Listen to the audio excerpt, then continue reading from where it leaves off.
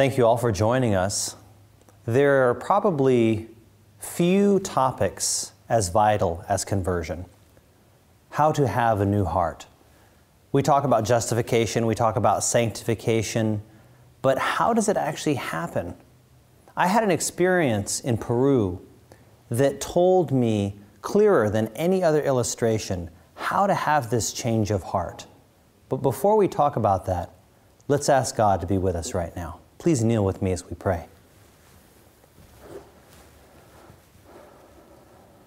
Loving Father in heaven, Lord, as we talk about conversion, as we talk about the change we all must have in order to see the kingdom of God, I pray that I would be the first one to be changed.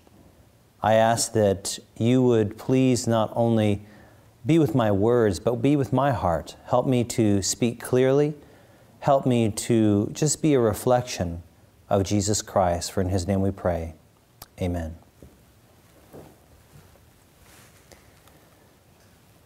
Our story begins in Peru, South America, actually in Chiclayo, which is northern Peru.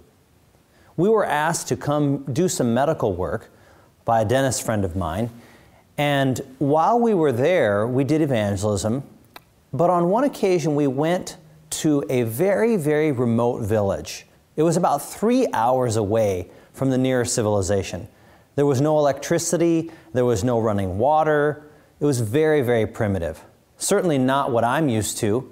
I'm used to a CAT scanner, x rays, labs, things like that. But this was very different. My clinic was just one wall, a thatched fence, some benches and chairs, and many, many, many patients. In fact, there were so many people there, I didn't even get a chance to see all of them. None of them had seen a doctor before, let alone a nurse. And so they were all very eager to come and ask me their questions. Now the problem was is that everyone wanted to see me before we left. So many times people would find a way to get ahead of their friends or their neighbors. They would kind of cut in line. And I remember one time that people even followed me to the bathroom to ask a question. So everyone was very eager to be seen. The sickest people first, uh, but of course it was hard to tell until you actually talked to them. I remember that the difficulty was that there was very few resources in the middle of nowhere with things that we would take for granted, like hygiene, sanitation, things like that, were just unknown in Peru. So, what did I do? Well, I shared the eight natural remedies. You can see in this picture, I was talking about water. That's a very common problem in the third world. You'd think that water would be abundant, but clean water is actually one of the greatest blessings and very often rarest blessings that you'll find in the third world. I talked to many of the people about nutrition, exercise, water, sunshine, temperance, air, rest, and most importantly, trust in God. I always pointed every one of the patients to Jesus Christ as the great physician. I prayed with every single patient, no matter what their condition, and I asked God to not only heal them physically, but to heal them spiritually as well. There was one person in this entire trip that was a little bit different. I remember they didn't follow me to the bathroom like the other people did. They didn't push or try to cut in line. In fact, most of the day they stayed at the outskirts. They stayed away from the crowd. They kind of sat in the periphery uh, with their mother and their sister, and I could only catch little bits of conversation every once in a while. I would hear, Oh, I'm not that serious, or Oh, he has so many people to see, he'll never get to me. I remember finally at the end of the day, the mother took this young girl and marched her up to the very front of where we were having clinic. She sat her down and said, My daughter's been waiting all day. Can you please see her? And that's her in the yellow shirt. Her name is Helen, 15 years old. So I said, Hi, I'm Dr. Riesenberger. What seems to be the problem today? And she said, Well, I'm not sure but I think it may be my heart. I'm not certain, but there's problems that I've had in the last year or two. I said, Well, what kind of problems? She said, Well, it hurts sometimes in my chest. Other times I'm short of breath. Sometimes I pass out. Sometimes I feel like my heart is racing. There have been times that I was so tired, I felt like I couldn't go on. I said, Okay. So I put in my stethoscope and I listened to her heart. But I heard the worst sound you have ever heard in your life. Normally, your heart sounds like this dip, dip, dip, dip, dip, dip. Her heart sounded like it was a very loud murmur that I could hear. And of course, I didn't have any ultrasound or echo or any way of evaluating the heart, so I had just my ears. So I had her stand up, I had her sit down, I had her on her side, I had her bear down, I had her do all these different maneuvers so that I could figure out where this murmur was coming from in her heart. And after about five minutes of different maneuvers, I realized that this murmur was coming from the center of her heart, where she had a very large hole. This hole was the cause of the sound or the murmur. And the problem is, is that the hole was large enough that the, the blood began to shunt in different directions. Normally, the blood goes from the body to the right side of the heart to the lungs, then back to the left side of the heart, and then back to the rest of the body. The problem in her condition is that it had reached a point where it was starting to shunt. It was going directly from the right heart to the left heart. Now, the problem with that is that you skip the lungs, and if you skip the lungs, you're not picking up any oxygen.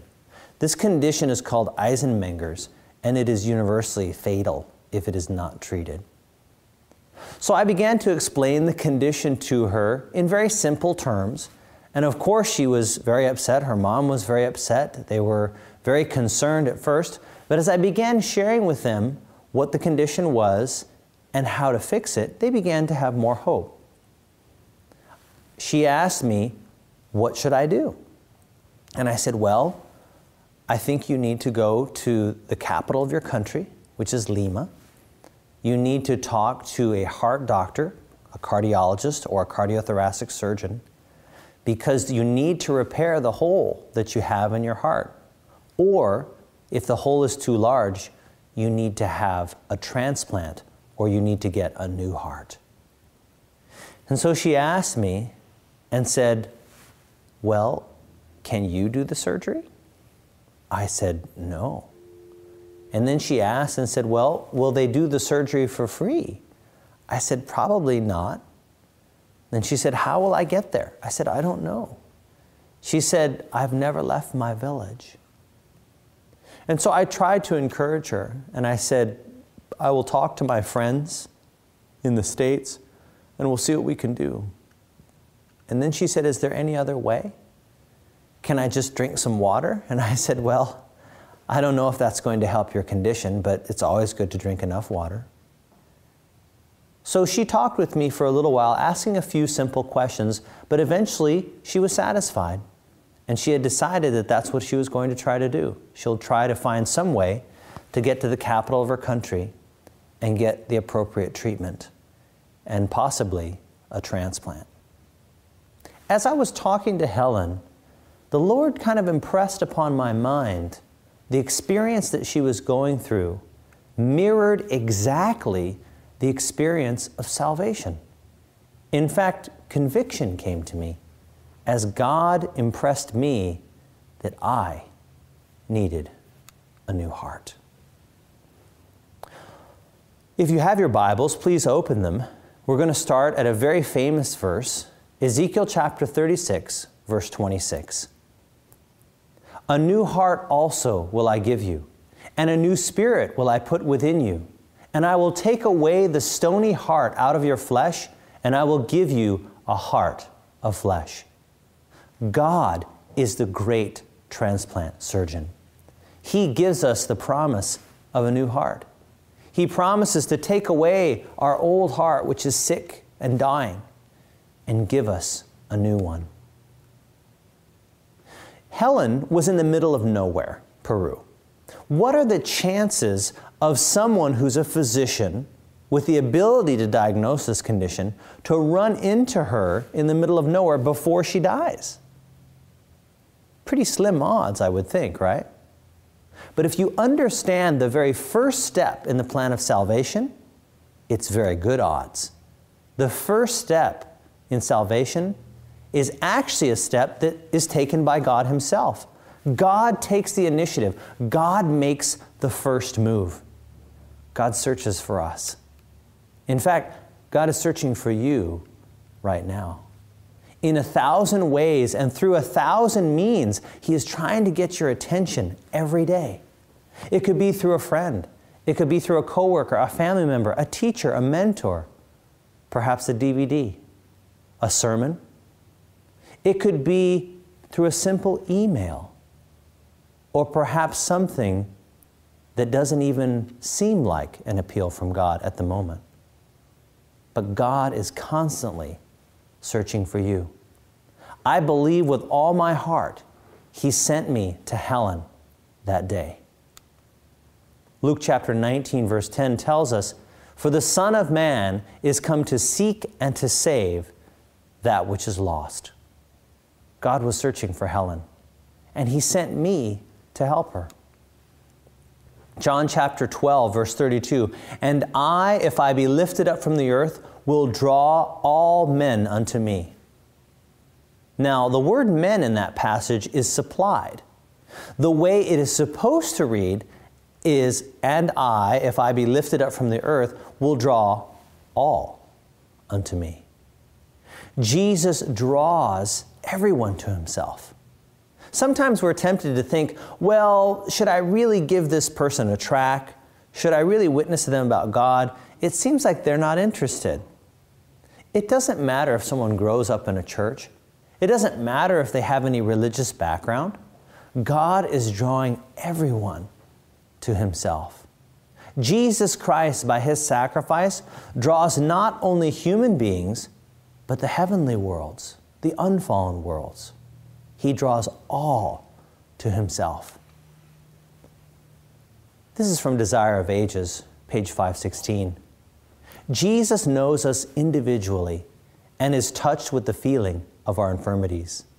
He knows us all by name. He knows the house in which we live, the name of each occupant. At times, He has given instructions to His servants to go to a certain street in such a city, to a certain house, to find one of His lost sheep. Is it possible that God sent me just for Helen? It's not only possible, that's how God works. He is willing to send you just to find one of his lost sheep. And I believe with all my heart, he sent me for Helen that day. He sends people for you too. Will you listen to them? Will you hear them? Where did Helen spend most of the day? At the outskirts, right? She spent most of her time just watching, just observing, not getting too close. Many of us are like that with God. We want to be spiritual, but not religious. We want to kind of stay on the sidelines, not fully commit ourselves one way or the other. But what would have happened to Helen had she stayed at the outskirts all day? She would have died. If she had never come forward, I could never have diagnosed her. If I never would have diagnosed her, she never would have known what was wrong. If she never would knew what was wrong, she could not seek for the cure. And if she did not seek for the cure, she would die. So, the second step in the plan of salvation is that we must respond to God. God makes the first move, but you must respond to his initiatives. Helen actually had to come forward and ask for help. You and I have to do the same. We have to make a decision to come forward. to come to God, to ask for help. Revelation 3:20 tells us, "Behold, I stand at the door and knock. If any man hear my voice and open the door, I will come in to him and will sup with him and he with me." Now, this is a very important verse because God is knocking at the door of every single heart, every single one of us. But consider this have you ever seen paintings of this verse? Of Jesus knocking at the door? Perhaps some of you know who Harry Anderson was. He's a very famous artist. And if you look closely at different renditions of this verse, you'll notice that there is one thing in common. You look closely at the door of each one of these paintings, and you'll find that there is something missing in each one of the paintings. What is it? If you look at the outside of the door, there is no handle. This teaches a vital lesson spiritually. There is no handle on the outside. Jesus does not force entrance. He does not climb through the back window. He does not pick any lock. The only handle is on the inside. The door can only be opened from the inside. And that's what the verse says. If any man or someone inside hears my voice and opens the door, I will come in. Jesus knocks, but he does not open the door. The person who opens the door is you and I. We must make a decision to let Jesus in to our lives we must make a decision to respond to God's drawing. Won't you let Him in today? Matthew chapter 9, verses 12 through 13, tells us why most people will not let God in. But when Jesus heard that, he said unto them, They that be whole need not a physician, but they that are sick. But go ye and learn what that meaneth. I will have mercy and not sacrifice. For I am not come to call the righteous, but sinners to repentance. That passage reveals to us that most people do not feel their need, and therefore they do not come to God. Only the people who are sick seek for the physician. Join me in the ER. It's about 2 a.m.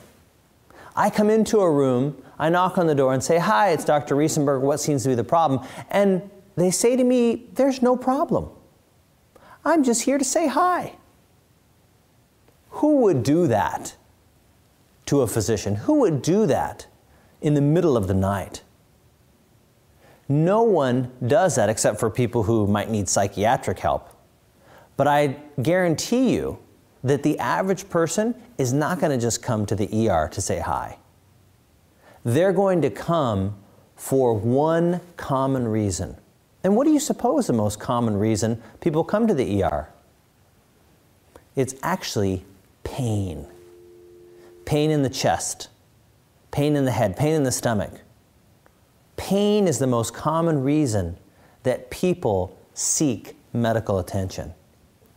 And pain can be a blessing. Pain is there to tell you that something is wrong. Can you imagine if you didn't feel any pain? Can you think of what life would be like if you didn't have any pain? Well, there is a condition that is similar to that. It's called leprosy. People often think that the condition itself eats away people's fingers or their nose or their feet. That's not really what happens. It does somewhat, but not entirely.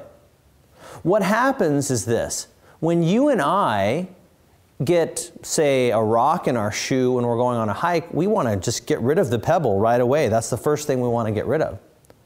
But if you can't feel it, you might not discover that pebble until five days later when it's born a hole into the bottom of your foot and is down to the bone.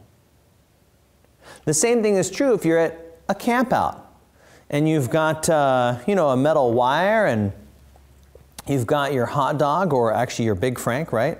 And you've stuck it in the fire and you get a little bit too close, ooh, ouch, you drop your stick, right? The person with leprosy just kind of start smelling that they're burning before they drop the stick. When you're out in the middle of the country and perhaps your foot gets out of the sleeping bag, and uh, let's say some critter in the middle of the night comes up to your toe and bites it, youch! You kick it over uh, across the campsite and you kind of brush your foot off and take a look and see what bit it, and then you kind of snuggle back into the sleeping bag.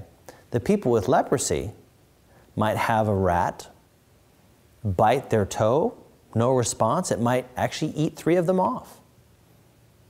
There is a gift that God has given us in pain. Because pain is designed to tell you that something is wrong so that you will do something about it. In fact, it's so important that some pain responses are just a reflex. Like when you put your hand on a hot stove, whoosh, you immediately take it off.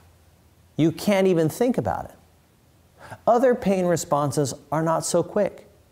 Some pain responses have to be conscious. You have to decide to seek for the cure, to find out what is wrong, what is causing the pain. Can you imagine if we are back with Helen for a moment? And I told her, Well, you have chest pain, so I'm going to give you some painkillers for it. You have shortness of breath, so I'm going to give you an inhaler, a puffer for it. Would that cure her condition? Absolutely not. Would it make her feel better? Well, probably it would. But it would only mask the symptoms. It might make her feel better, but it would be very deceptive. In fact, not just deceptive, but deadly. Because it would make her feel better so that she wouldn't want the cure, the true resolution of her condition. One of the things that I did with Helen is I sat and I talked with her. I explained to her the diagnosis and I told her what the treatment plan was. This is the most vital portion of the plan of salvation as far as the process of conversion. When I sat and talked to her about her diagnosis, she had two choices. She could believe me or not. And that choice is repeated in the heart of every man, woman, and child on this planet. God has given you the diagnosis. He has told you that you need a new heart. It is up to you to believe Him or not. Many people who go to see a doctor actually don't believe the doctor. They want a second opinion. And believe me, you can get a second opinion. His name is the Prince of Darkness. And he will tell you probably one of two things. He will either tell you, one, oh, you're not that bad. I mean, you don't kill anybody, right? You don't like um, murder people. You're just as good as the next guy down the street. Oh, sure, you maybe aren't quite so honest about certain things, and maybe you might watch some stuff on TV or the internet you shouldn't. Um, maybe uh, you know, you're not entirely good with self control about maybe what you eat too, but oh, you're all right. You're as good as the next guy. You're as good as the next churchgoer. You're fine. The other thing the devil may tell you is that you're so bad, God will never save you it's too late. You might as well live it up because this is the only paradise that you're going to have. Let me tell you, both of those scenarios is a lie. Neither one of them is true. Yes, it is true that we have a problem. we have a serious diagnosis. In fact, we have a fatal diagnosis. But the good news is, is that it has a 100% cure rate with the great physician. But the choice is up to you. You can believe God or ask for a second opinion.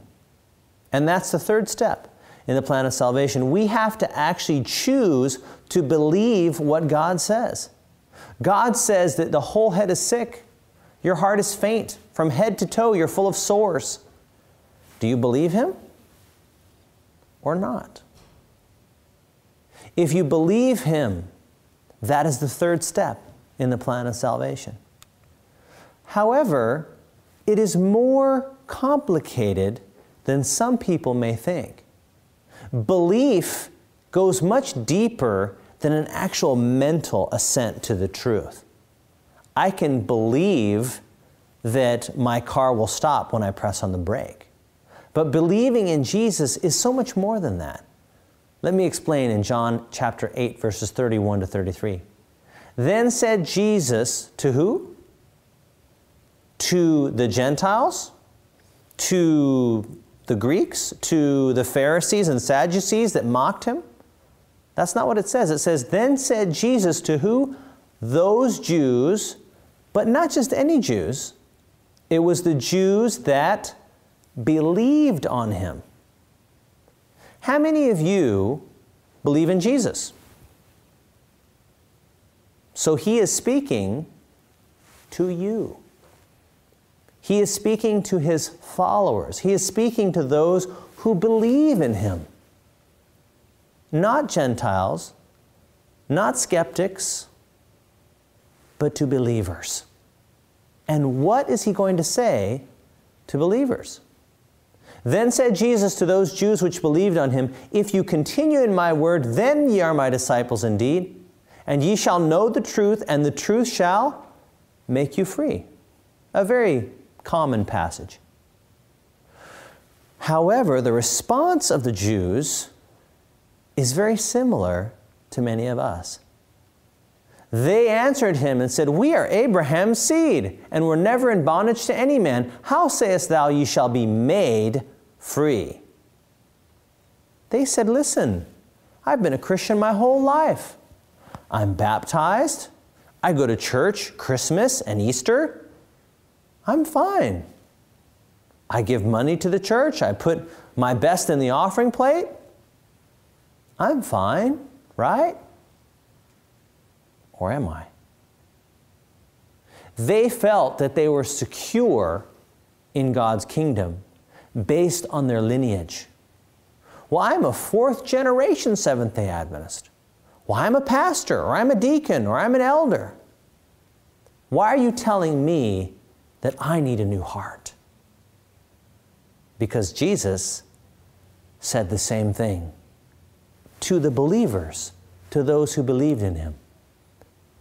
Jesus answered them, Verily, verily, I say unto you, whosoever committeth sin is the servant of sin. So if you commit sin, you are the servant of sin. Anyone commit sin? Don't raise your hand. I already know. You're guilty as charged, because so am I. All have sinned and fall short of the glory of God. But there is hope. Let's read on.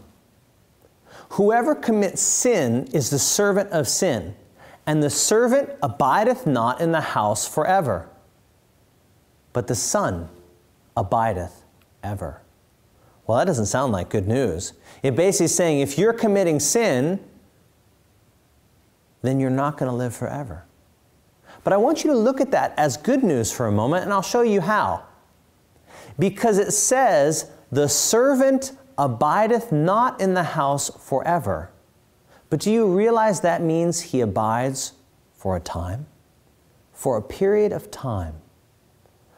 Jesus Christ, by his sacrifice, has purchased not only salvation for those who would believe on him, but even a window of probation for those who would eventually reject him.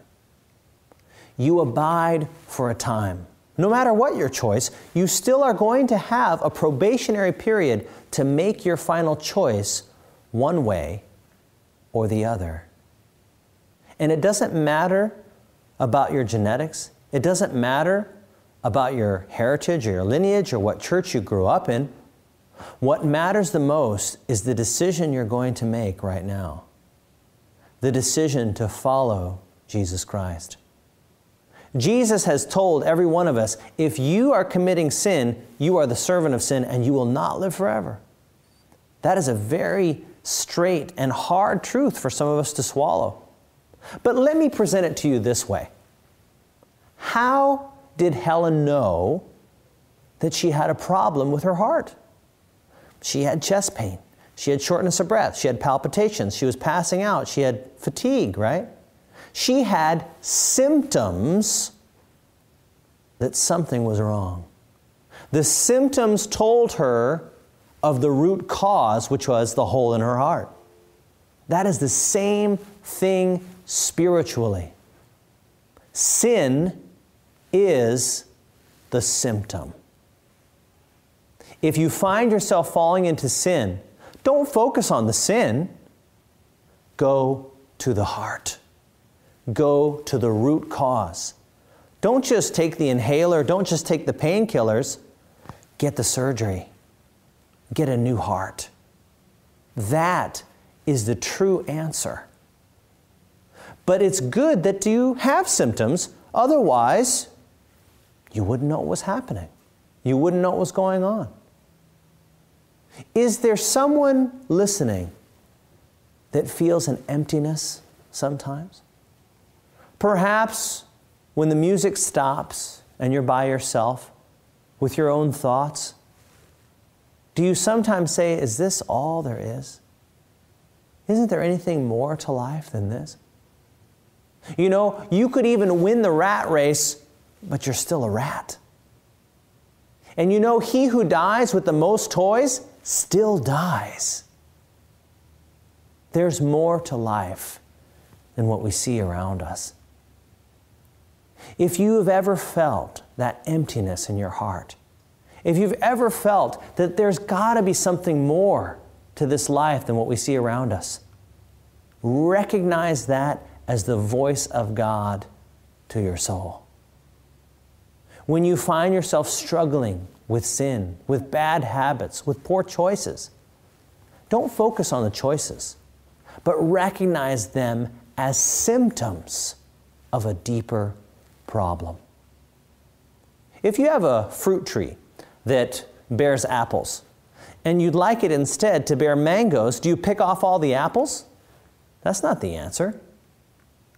You have to graft in a new root. That's the same thing with sin. Most of us just focus on getting rid of all of our bad habits and we think that that's salvation. That is not salvation. That doesn't do anything. It's only a matter of time till the fruit grows back again. If you want real change, change the heart. Just like with the tree, if you want it to bear different fruit, you've got to change the root. This is a picture that we took of Helen right after I gave her the diagnosis. Does she look happy or sad? Amazingly enough, she looks happy. Now, doesn't that seem strange? You just give someone a fatal diagnosis and they're happy? Why do you suppose that she's happy? Yes, it's true, I've given her a fatal diagnosis, but she's happy because at last she knows what's wrong. At last she knows what the cause of all the symptoms are. And not only does she know the cause, but more importantly, she knows the cure. This is perhaps the most confusing part of the plan of salvation about the science of salvation and conversion. When people feel their need of God, they sense He's been searching for them, they come to Him and they say, Listen, God, if you're out there, I need help. I need you to change me. You know, I realize I'm doing a lot of things that are wrong, and I understand that you have a way of righting those wrongs. You have a different life plan for me than the way I'm going. I know I need to turn around. But they always ask me the same question What do I do now? Yes, I'm a sinner. Yes, there's something wrong with my life. I want something different. What do I do? What's God's part? What's my part? This is the most often confused portion of the science of salvation. It's summarized by one verse Philippians 12, Philippians 2 12 and 13. Work out your own salvation with fear and trembling, for it is God which worketh in you both to will and to do of his good pleasure. Now, it doesn't end after work out your own salvation. But the second part is God works where? In you, both to will and to do of His good pleasure. God is going to work in you, but you have a choice to work out what God is working in. I'll explain it this way. Can you imagine someone here in the audience just passes out, collapses? What are you going to do? Well, hopefully, you're going to see if they're all right. You try to check for their breathing, they're not breathing, they're not responsive. What are you going to do now? Hopefully, call 911. Uh, perhaps while your friend's calling 911, uh, maybe there's a friend of yours that uh, knows CPR. So they might start CPR. Well, consider this. What if you happen to be right outside of my ER? I'm a board certified emergency medicine physician. And one of your friends collapses right outside the door. What are you going to do with them? Well, bring them in, right? But can you imagine that if you bring your friend in and I called 911? Would you find that strange? Oh, well, maybe I won't call 911. Maybe I'll just do CPR, but that's it. How would you feel about that? You'd probably be a little upset because what do you expect me to do? Everything. And if you knew that I willfully withheld treatment from your loved one or your friend, you would charge me with murder. But wait a minute. If I did CPR, I was doing the same thing as a bystander. Isn't that enough? Well, no, it's not. The reason why you want me to do everything is that I'm held to a higher standard. You know, there have been true stories of five year olds who have saved their parents' lives. They dialed 911 and they gave them the right information. In fact, I know of a true story where a man had a heart attack and he collapsed and he couldn't make it to the phone. He couldn't even call for help just kind of weakly called out. There was no one to hear him. But the neighbor's dog actually heard him and barked and barked and barked and made sure that he got help. And he was saved and he fully recovered. I saw the man after one presentation that I gave. And I actually saw the man with the dog that had saved him. And believe me, that dog gets a lot of treats from that man. In fact, he talked about her with tears in his eyes and said, She saved my life. Now, the dog, you're amazed at, but the dog didn't do much. The dog just got help, right? Isn't that good enough for me? Well, of course not.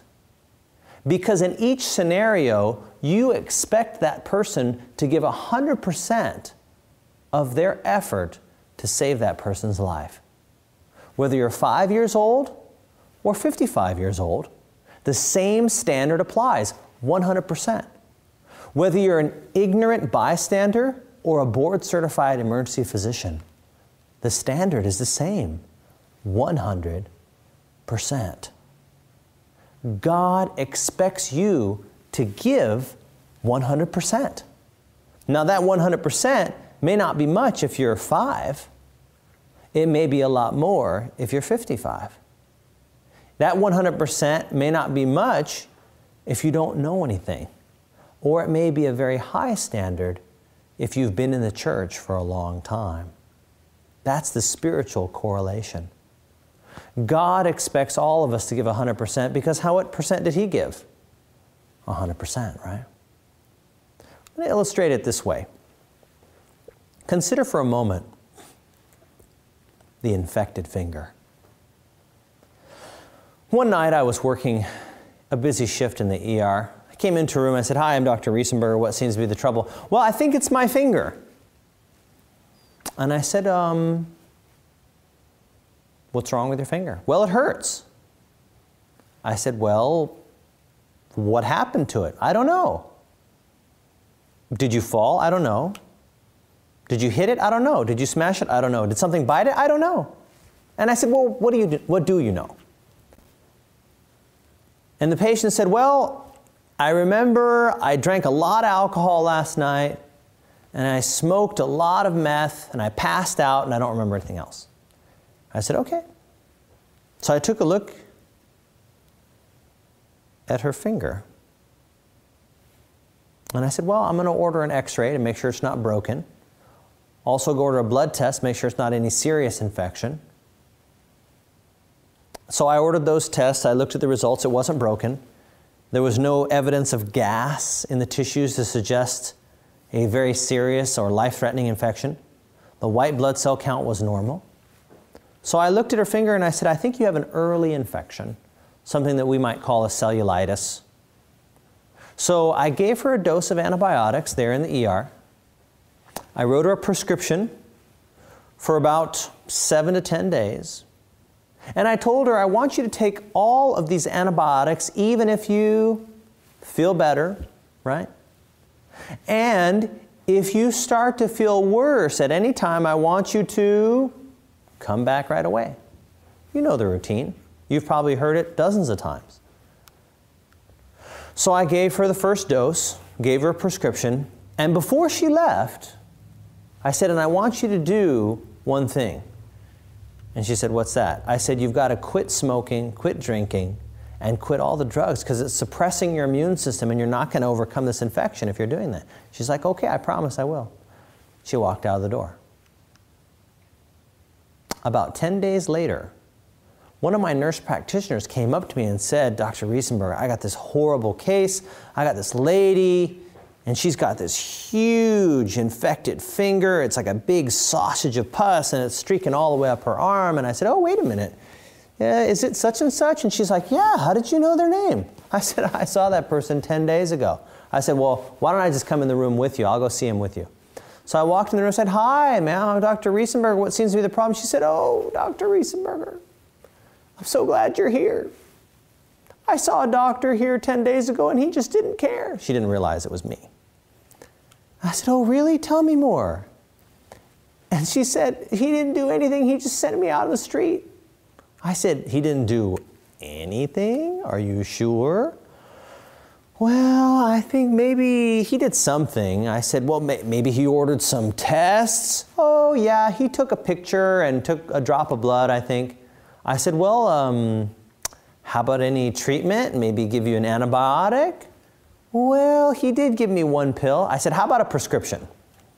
And she said, I do remember he gave me a piece of paper. And I said, Did you fill the prescription?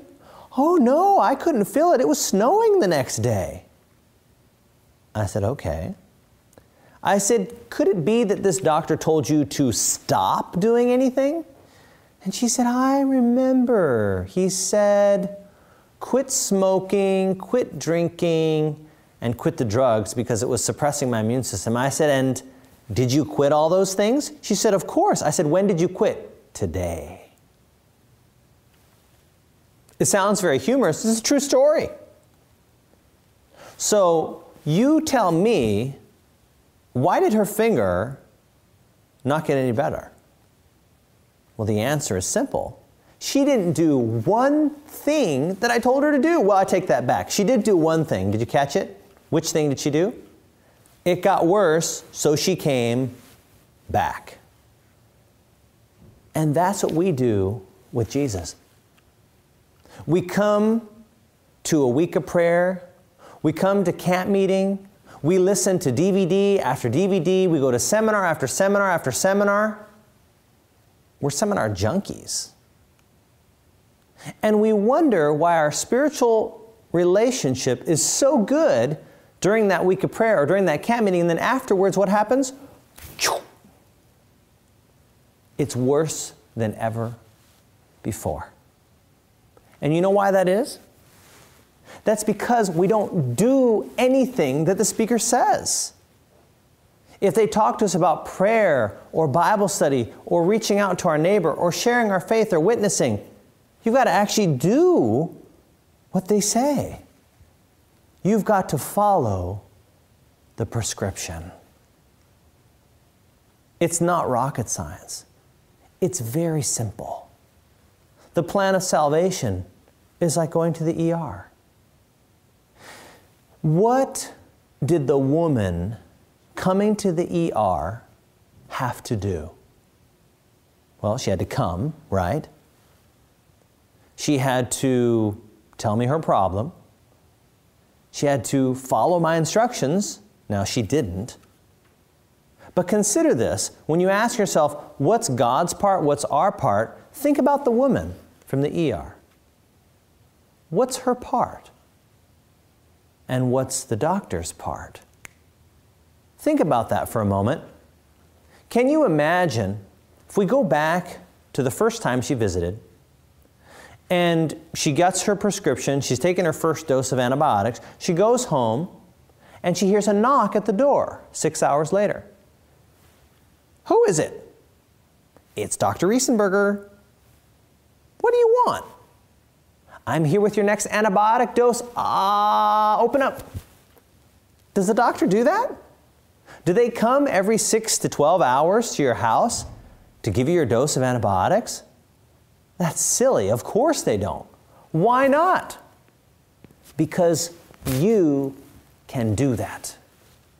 Why doesn't the doctor fill your prescription for you? Because you can do that. However, did the woman order the x ray? No. Did she write herself the prescription? No. She doesn't have a license. Did she make the diagnosis? No. She didn't go to medical school. Do you see the difference? The woman had to do what she could do for herself the doctor would do the things that she couldn't do for herself. It's that simple with the plan of salvation. God is going to do for you what you cannot do for yourself. Can you forgive your sins? No. God promises to do that for you. Can you change your own heart? No. God offers to give you a new one. Can you change your thoughts? No. However, can you decide what to put in your mind? Yes. Do you see the difference?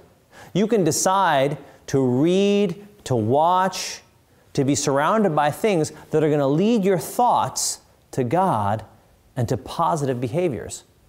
But you can also decide to surround yourself with bad things. The choice is up to you. You have a decision to make. But you have a part in the plan of salvation. It is not just God. God honors your choice. God will do for you what you cannot do for yourself, but He leaves for you to do what you can. Consider this. This is my first patient when I was in Cambodia. Any guesses as to what might be wrong with him? Take a close look, and you'll see that he's holding a very crooked wrist.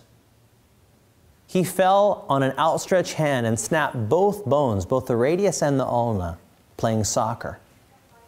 Consider for a moment the plan of salvation like this eight year old boy. We come to God and our lives are uh, uh, crooked, they're out of place.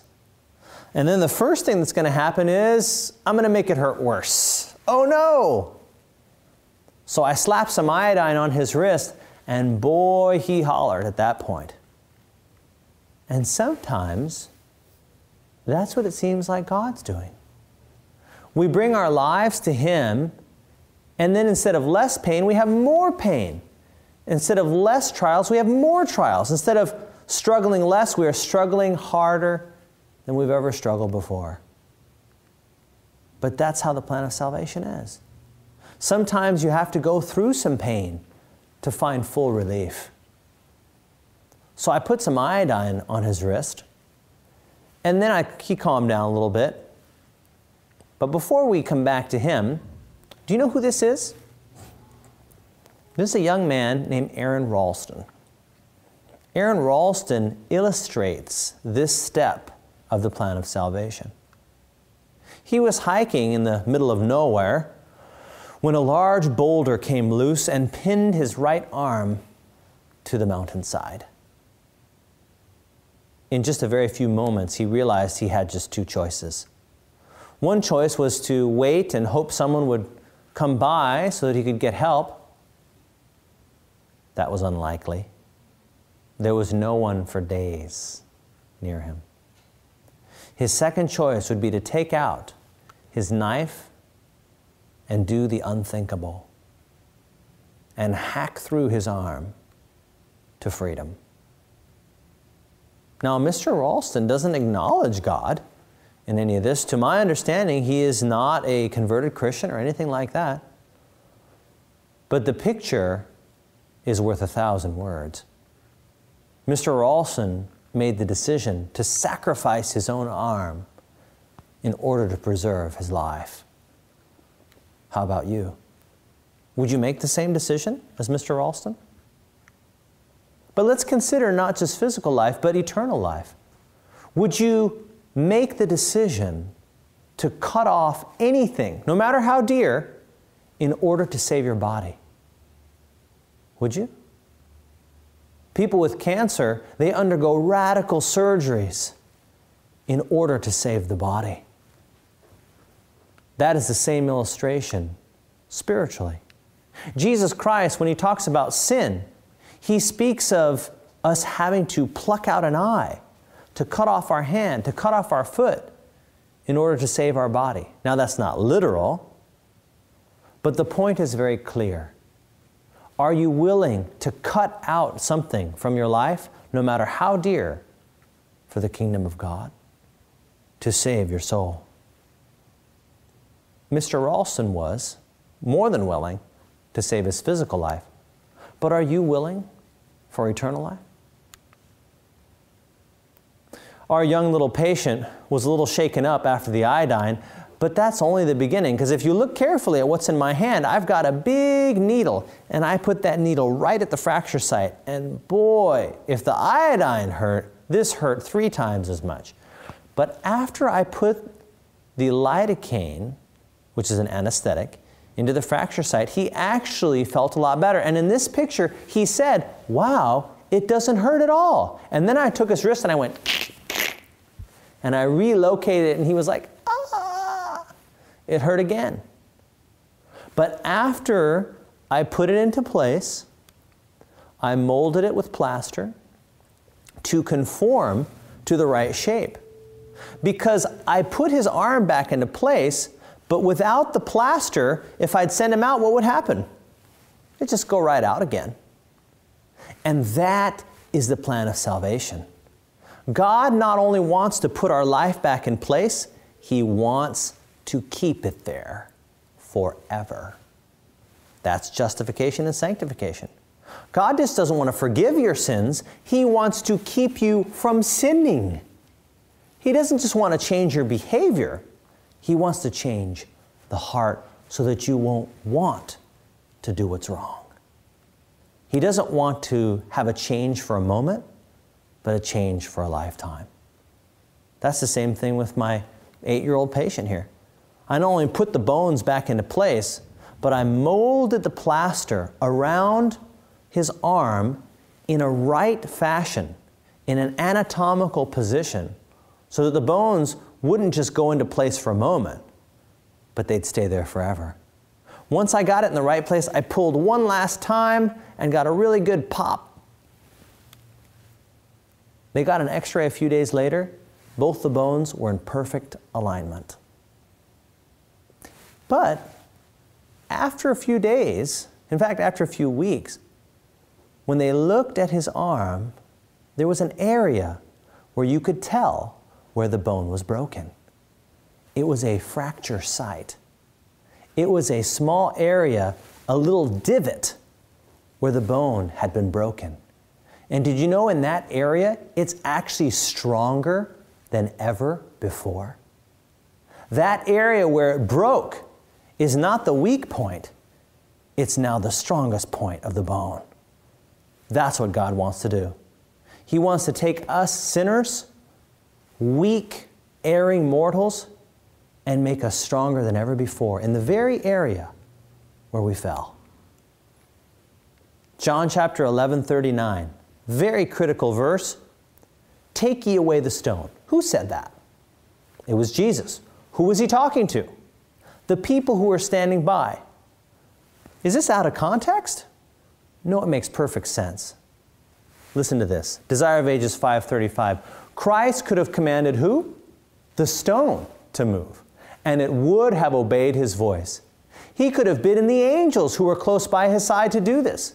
At his bidding, invisible hands would have removed the stone. But it was, to be, be take, it was to be taken away by human hands. Thus, Christ would show that humanity is to cooperate with divinity. What human power can do, divine power is not summoned to do. God does not dispense with man's aid, He strengthens him, cooperating with him as he uses the powers given him. That's the key. The combination of divine power with human effort. Jesus could have commanded the stone and it would have said yes, rolled right out of the way. He could have told the angels to remove the stone. But who removed the stone? The people. That's the same concept with you and I. How many of you like to say your prayers at night? I do. But how many of you are real tired at night? And you like to say your prayers like in a kind of not, not really kneeling position, but you're kind of down here on the floor and you're like, Dear Jesus. Mm-hmm. You go to sleep, right? Why doesn't God keep you awake? Because you can do that. The same is true with your devotions. How many of you like to have your devotions in the morning? Now, how many of you don't like to get out of bed because it's really cold? How many of you have actually had your Bible float off the shelf, open up to you, and start reading to you? Never happened to me. Why doesn't it do that? Because you can do that. You can get up and have your devotions. You know, I remember a friend of mine, he said, Tim, it's no use. I said, What do you mean? It doesn't matter what I read in the Bible. I said, Really? He's like, I don't retain anything. I like read a passage and I'm like, what did I just read? Has that ever happened to you? And I said, well, keep reading. He's like, but it's not doing anything. My brain is like a colander. He's like, have you ever made spaghetti? You put the noodles in there and you rinse the water through and it just goes right through the holes of the colander. I said, keep reading the Bible because even though the water goes through the colander, it's cleaning the colander. And that's the concept is that you may not be able to retain things right away, but eventually you will. And it's cleaning out that old nature. Eventually, this man can memorize large passages from the Bible. Well, I finished up clinic in Peru, and Helen and her family came all the way out to the bus to say goodbye. In fact, this was from the window that I said goodbye. But everyone wants to know now what happened to her. Well, I came back to my hospital and I shared with my colleagues, the physicians and nurses there, about Helen's condition. Now, the next day, it wasn't a doctor, it wasn't a nurse, but was one of my nurse assistants that came to work with an envelope. And she gave me an envelope full of $1,000 cash. And she said, This is for Helen. I want you to send it to her for her surgery. I sent it to her immediately. She not only had enough money to go from her village to the capital, but to see doctors, to be diagnosed, to be treated, and she had enough money left over to go to the Seventh day Adventist Academy in Peru. She went through her Bible studies in just two weeks. Not only because she was a smart young woman, but she had the illustration of salvation written in her heart. If you forget everything that you've just learned in this hour, just remember this final verse. Genesis chapter 22, verse 8. And Abraham said, My son, God will provide who? Himself a lamb for a burnt offering. You see, Abraham was with his son Isaac. And Isaac said, Father, here is the wood, here is the fire, but where is the lamb for the sacrifice? Abraham said, with deep significance, that God would provide himself as the sacrifice. When you're talking about someone on the transplant list, when your heart is failing and you are hoping and praying that a donor heart will become available, when you are pleading for that new heart, just understand that in order for you to live, it means someone else has to die. The heart that we get is from the donor, Jesus Christ. You see, salvation is free for you and I, but it is very expensive for Jesus Christ. It costs him the second death. It costs him having to be in a human body the rest of his life. It is a gift, a free gift to you and I. But the donor heart comes from God Himself. Let's kneel for prayer. Loving Father in heaven, Lord, thank you that you provide the new heart for each one of us. Lord, help us to remember that you're looking for us. Help us to listen. Help us not only to listen, but to respond to you, to come forward, to give you our broken hearts. Not only to give you our hearts, but to listen to your plan, your diagnosis, and your treatment. Lord, let us follow what you tell us to the T. Let us give you 100% as you gave us 100%, knowing that you will do for us what we cannot do for ourselves, but that you expect us to do what we can. Lord, I just pray that everyone who can hear my voice will now make a decision for that new heart, not just for this life, but for eternal life. In Jesus' name, amen.